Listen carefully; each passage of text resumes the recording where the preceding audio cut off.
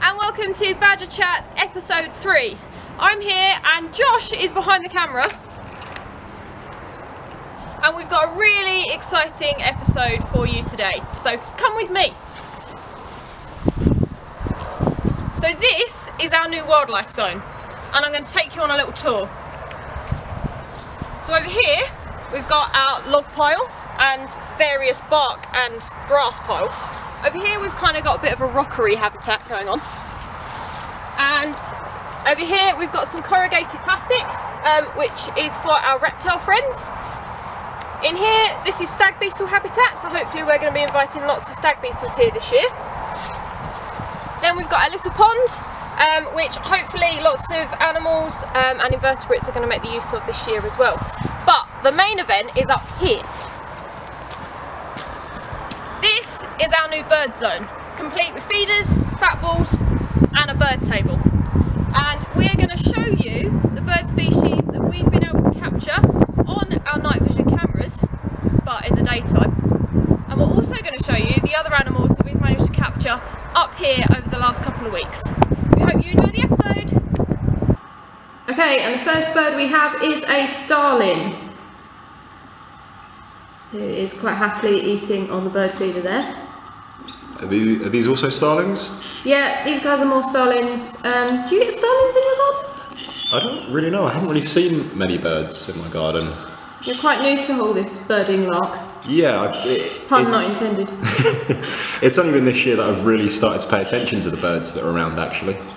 So um, we know these guys are starlings because they're kind of they're this blackish brown, um, and then they've got speckles all over them. They're really beautiful birds. Kind of Um, like stars, yeah, kind of like stars. Hence the wonder name. if that's why they're called starlings. maybe. Don't know. Someone tell us that in the comments. Um, they've got yellow bills, and maybe you'll see later on in the year um, that the juveniles will have a darker brown bill. Um, but that'll be a bit later on in the year. So these guys are making use of our bird feeder and the bird table. And there's a little blackbird down the bottom. You can just see a head poking up and down. I think that's a female blackbird. Yep, it is. Because she's gold. And she's also brown herself. And the males will have an Um, orange bill. Yep. Okay. Oh, it might have like a, a yellowy bill. We'll, we'll see that in a minute. Ta-da! Ah. There's our male blackbird. So with that yellow bill and then the yellow ring around the eye as well. On the right hand side of the screen, can you see our robin friend who's now on the bird table? Seen plenty of robins before. That's one I can identify. That's a good start. That's a good start. And this one's not on a Christmas card.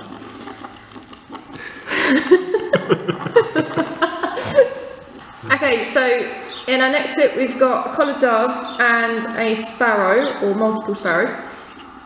So you can see the sparrow's just flown off over the back there, if you were quick enough.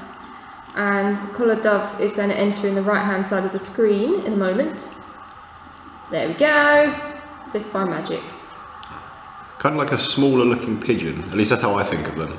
Yeah, they're quite sweet, I think. Um, they've got this kind of incomplete collar which goes around the back of their neck, um, which hopefully you'll get a closer view of in a minute. Um, and then we've got a house sparrow in the right hand corner as well.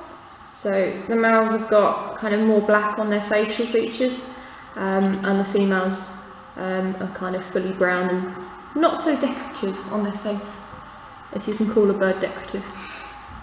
And also we've got Dunnock in the left hand corner. Have you seen any of them about? M- Maybe I have, but I'm not sure if I if I would recognise them. So I, I like to refer to them as stealth sparrows. Stealth sparrows, was that? Yeah, because they're usually going around on their own. They don't usually go around in a flock like sparrows do. Um, and they'll pop around on the floor um, without even knowing it. That's quite interesting there, just watching the robin follow him. And the collared dove in over the back there, making that odd sound that they make when they fly or land or fly off.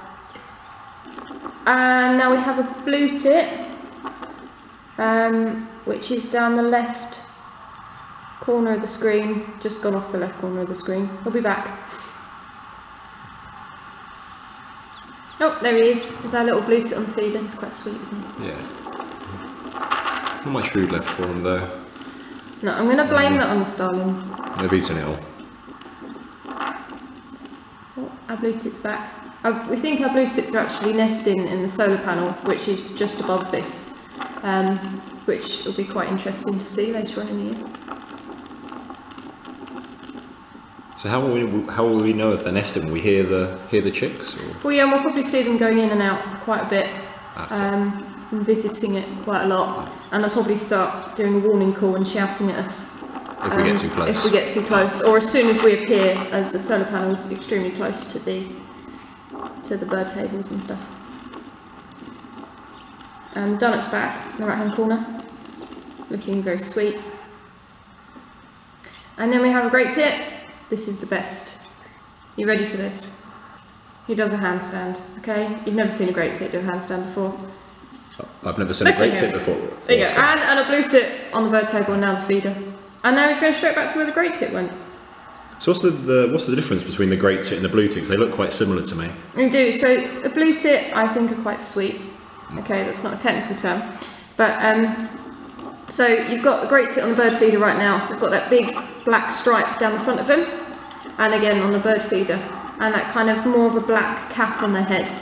Um, whereas the blue tits don't have so much of that on, on their faces, and they, I feel like blue tits are lighter in colour and slightly smaller. And it's not just birds on Bird Cam, is there? No, we've got a rabbit. Even the rabbits have joined us, which is quite nice. And rabbit in the dark with blackbird.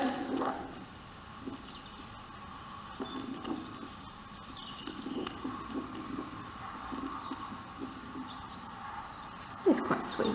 Yeah. They don't seem too phased by each other. Eh, maybe they're friends. Maybe.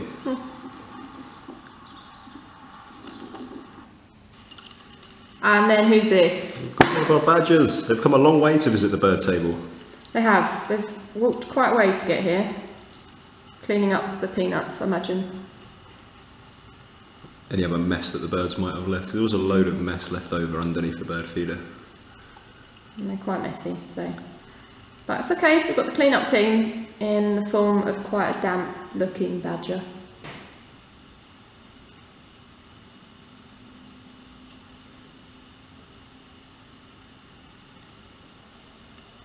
You can hear him eating.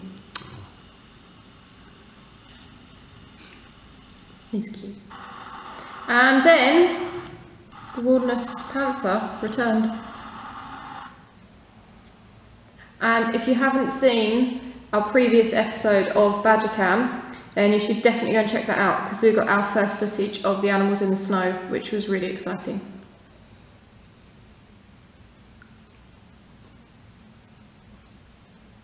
You can see all the snow on his fur. It's all like bundled up. It's quite sweet. We hope you had fun in the snow. Wonder if any of you went out tracking for animals looking for their footprints. If you did, um, comment below. We want to know what you found.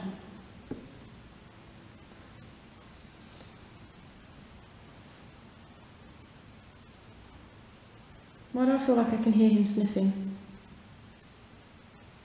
Thank you for watching this week's episode of Badger Chats. Hope you enjoyed our new bird zone and see you next week for another episode of regular Badger Cam. Like and comment below if you want to ask us any questions and follow us on social media at Wilderness UK.